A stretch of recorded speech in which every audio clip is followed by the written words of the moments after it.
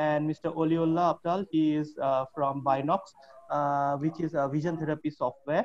And he is also one of the founders of Binocs. So uh, he will be also moderating. And today's Zoom session is being sponsored by uh, Binocs. So hope we will have a fruitful session with all of you. And later, once you have finished the session, you all can ask whatever doubts you have for, uh, for this session. Okay. Uh, so can we start, students? Yeah, sure. Okay. Okay. Over to you, Mr. Shah- Thank you very much, uh, uh, Subhadeep, and good morning to everybody. Okay. So our topic is today dissociated vertical deviation. Strabismus is nothing but the misalignment of the eyes. Okay. There are two types of strabismus. One is tropia, one is phoria, broadly.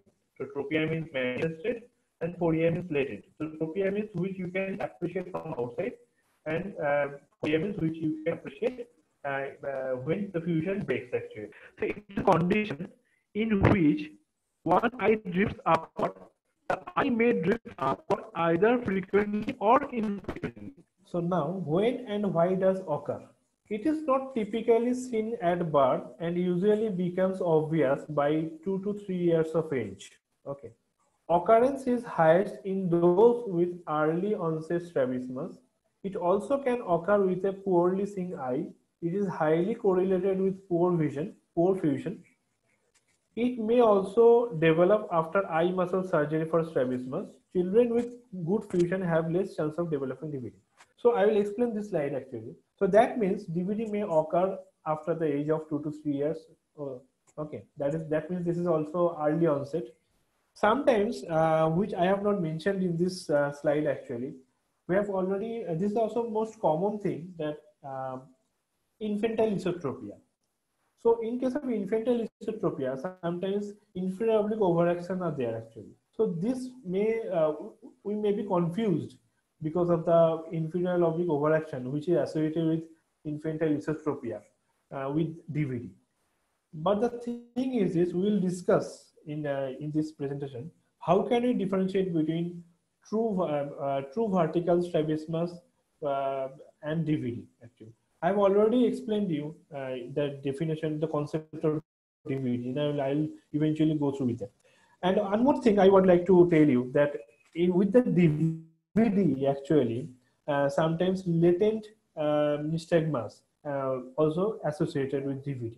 Does DVD affected visual acuity? Definitely yes. Uh, because of the uh, DVD affected visual acuity and if it is bilateral DVD the fixation preference is uh, definitely alternating but in case of unilateral DVD there is a high chances of suppression now, this is an example of DVD. So look this uh, picture actually. Dissociative vertical deviation. Okay. See, uh, in case of uh, right eye, patient with manifest DVD evident by elevation of either non-fixing eye, fixing eye with fixing with right eye with left eye elevated. So uh, in case of uh, a picture, fixing with right eye with left eye elevated. See, the right eye that the uh, Hirschberg test shows the right the fix the corneal reflex of the right eye is in the center position, and in case of left eye, the corneal reflex here in the periphery of the pupil. Okay, that is in the down uh, downward to the towards the pupil. Okay, that means left eye is little bit elevated. Okay, so left eye is DVD. Okay, in case of fixing with the left eye, the right eye is elevated if it is true vertical uh, uh, actually, what will happen in case of left eye is elevated, the right eye should be, in case of left eye elevated, the right eye, right eye should be uh, depressed. But in this case, both eyes are elevated alternately. That means this is DVD and which is not following Hering's law.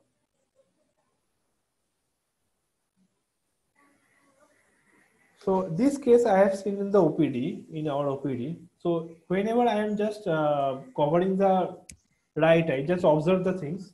See, under cover right eye is moving upshoots. This is a unilateral DVD, which is rare actually. See, the right eye goes upshoots in this case. Again, just I am repeating the video. See the right eye. See, this is the upshoot movement of the right eye.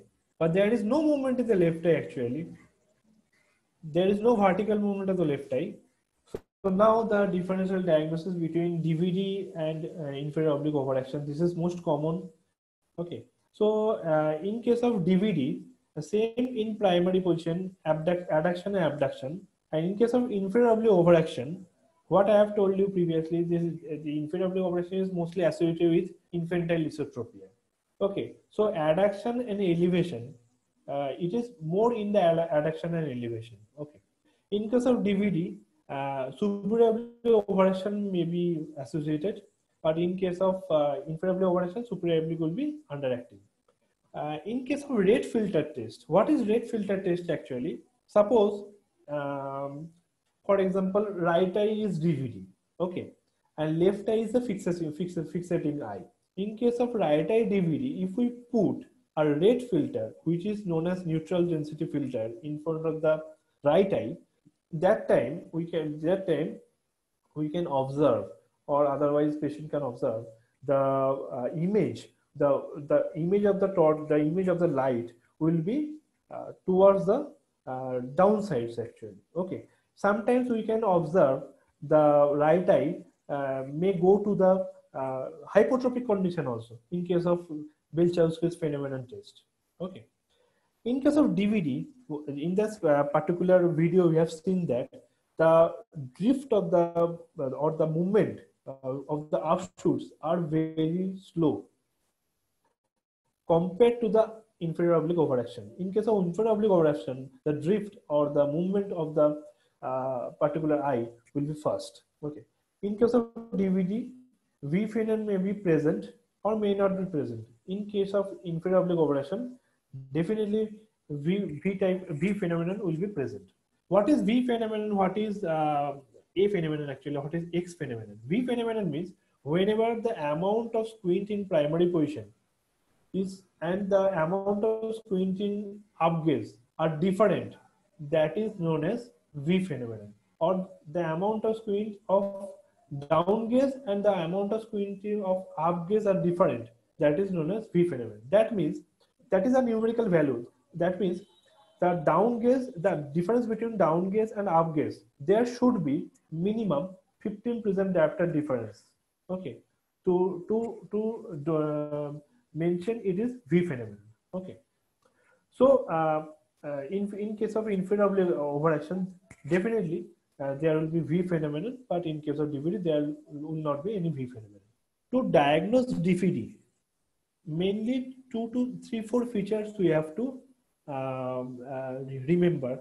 Number one, in case of DVD, there will not be any extraocular motility dysfunction that means in case of DVD, EOM will be full and free. Number one.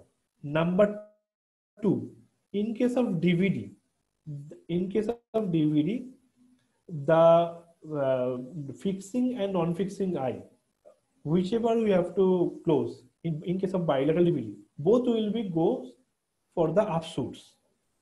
Number three, in case of asymmetrical DVD, that may be in a particular eye. That means the non-fixing eye will be DVD. The fixing eye will not be DVD. In this case, the fixing eye, in case of non-fixing eye, if it offshoots, the the in uh, the non the fixing eye will not move at all. That will stuck in the primary position. This is number three point. Okay. And these three are most common to diagnose DVD. Okay. So now the treatment actually, the treatment is actually surgical and non-surgical actually. So uh, before going to the treatment part, I would like to know one more thing actually. Zero to nine prism diopter that is known as mild DVD, above 10 to 20 prism diopter that is known as moderate DVD, above 20 prism diopter that is known as uh, severe DVD. Okay. The thing is this, Though as per the mild, moderate, severe, we can go for the treatment. This is the one criteria. Number one. Number two criteria is according to the symptom also we can go for the treatment. surgical treatments is uh, definitely it is uh, useful and successful also.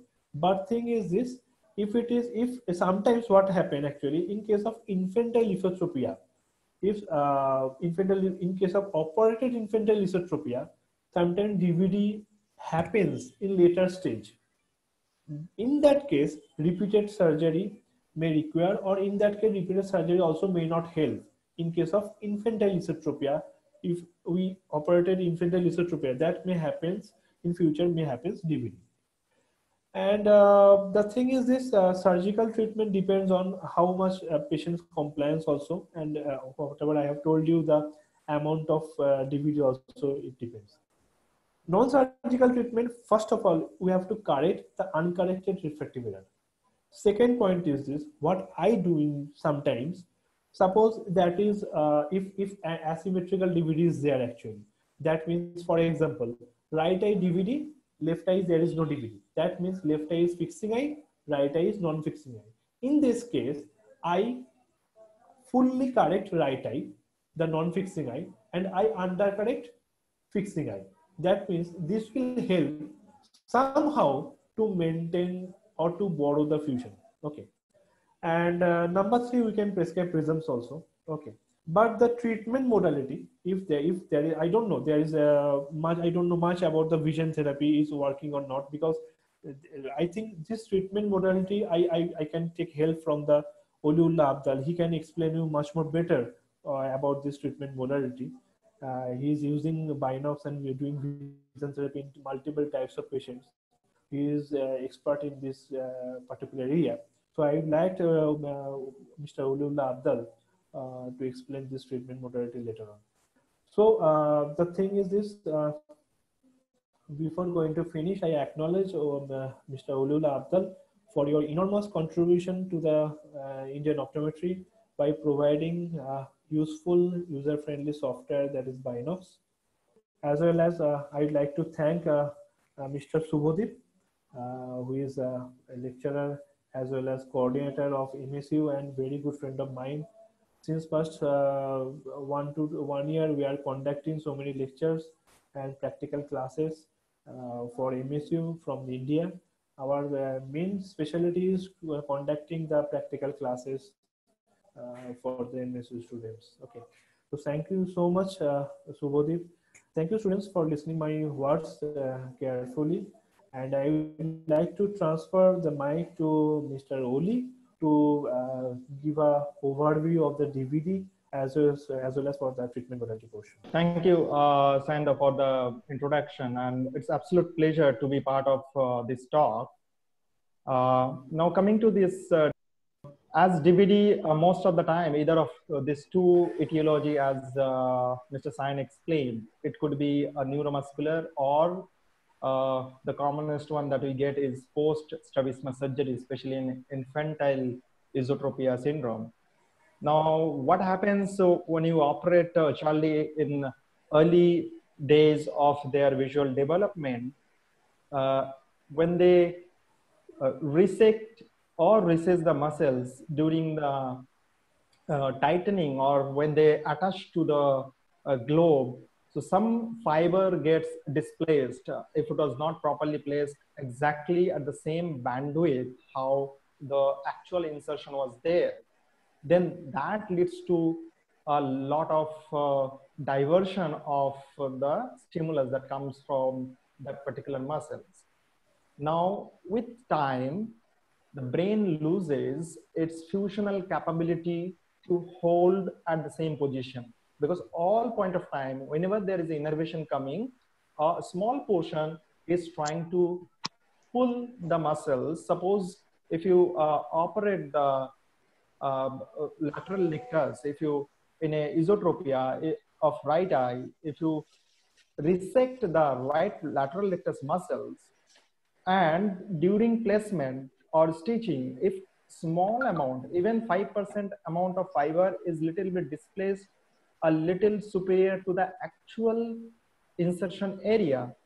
So whenever lateral rectus is contracting, it's not only uh, uh, giving a stimulus to uh, give you um, uh, like abducted movement, it also pulling a little bit of up. So hence, uh, there is a lot of issues in balancing the vertical fusional vergence. As you know, usually the fusional range for vertical vergence is limited, probably around two to four diopter. Beyond that, uh, one can't tolerate it. So on this perspective, what happens with the, over a period of time, when the fusional vergence component goes it, then the patient starts developing this condition called dissociated vertical devi deviation and only under stress, only under condition when they, there is a small amount of fusional component left. Now, solution to it is uh, if it is very large angle, then somebody operates it. But even though operating it means you have to uh, change that uh, muscles fibers which are misplaced or wrongly placed at a wrong uh, equator area. So you have to change that. Else, in cases of small angle, what you nicely do as an optometry point of view is try to switch the fixation from the dominant eye to the DVD eye. So what you are trying to do, suppose my right eye got the dissociated vertical deviation, it was operated for uh, esotropia or neuromuscular issues. So whenever I am under stress, I manifest at DVD because the fusional amplitude are less. So this eye going to be or non-dominant in nature. What you have to do as a vision training, you need to try to shift from this eye to this eye your fixing preference. And how to do that is by altering the visual function of the dominant eye. And how do you do that? Again, alter the visual function. You have to decrease the contrast function of the dominant eye or increase the so is there any provision to do any vision therapy for this? Is, is it helpful? I don't know. Right. So uh, to change the fixation pattern or to switch the fixation is the vision training or the vision therapy is going to do uh, you have an option either you put Bangerter filters to decrease the contrast of the dominant eye. Now, uh, most of the patient will not like that concept because the quality of vision goes down, the overall vision. So the best way to tackle DVD condition is by uh, dichoptic uh, therapies where you try to improve the contrast function of the non-dominant eye. So dichoptic therapy is very promising in switching the fixation from dominant eye to a non-dominant eye. So is there any chance to develop fusion also? Yes. So the moment you, uh, uh, why the fusional range decreases as I was talking about, uh, because constant uh, misinnervation that was happening, now the, the moment you can increase the fixation pattern of the non-dominant eye to a, a primary fixating eye, then the interocular binocular competition goes down. And the moment it goes down the better fusion it persists. So uh, it results in great vertical fusion as well. Probably uh, uh, mild to moderate dvd uh, for the mild to moderate dvd it will help. I think so. Yes. And whenever you feel there is a large dvd uh, then surgical intervention is needed but by some some chance or somehow patient is not opting for it again you have a great optometrist role to uh, manage that. And how do you do that is you have to uh, prescribe a vertical prism in, at the initial of the therapy and then slowly uh, relieve that prism take out that prism.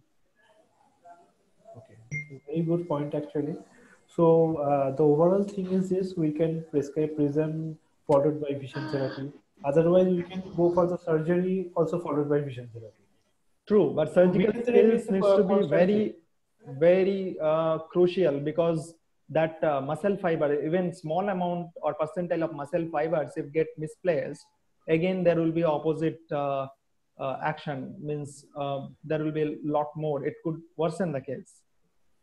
So, will you prefer uh, pre-surgery or uh, vision therapy or post-surgery vision therapy? Infantile esotropes are very early onset in nature, hmm. so vision thinning uh, will not help, uh, as in as a primary mode.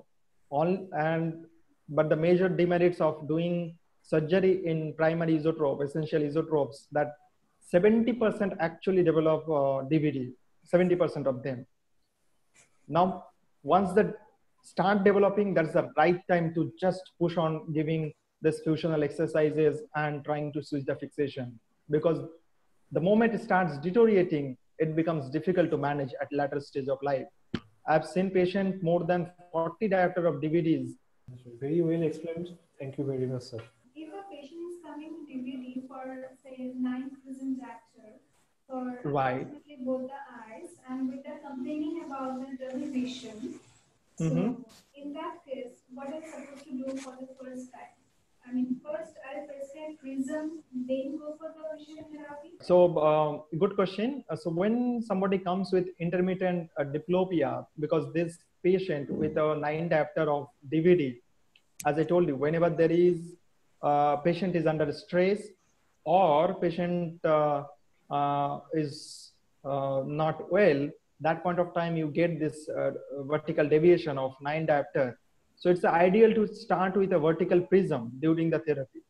You can have option of giving relieving prism in clinic or you can give a ground prism on spectacle lens. Then start with the vision training slowly you need to take out the prism. The probably the important thing is is the patient who is having uh, intermittent diplopia. That is a good sign actually. Yes, the prognosis is very good. Because uh, in case of uh, diplopia, that means that is physiological diplopia. If awareness of physiological diplopia is there, the treatment modality will be much more easier. Very true. The moment there is a separation, it becomes more difficult to treat to come out from suppression and making it a stronger or more fixating eye is becomes more difficult task or lengthy task i would say. Understood. So the, for the students actually i'm explaining this thing. So whenever the patient is having suppression and amblyopia that time we have to follow three steps. Anti-suppression diplopia fusion. And in case of diplopia we have to go for the one step only that is fusion. Am i right sir? Right. Perfect.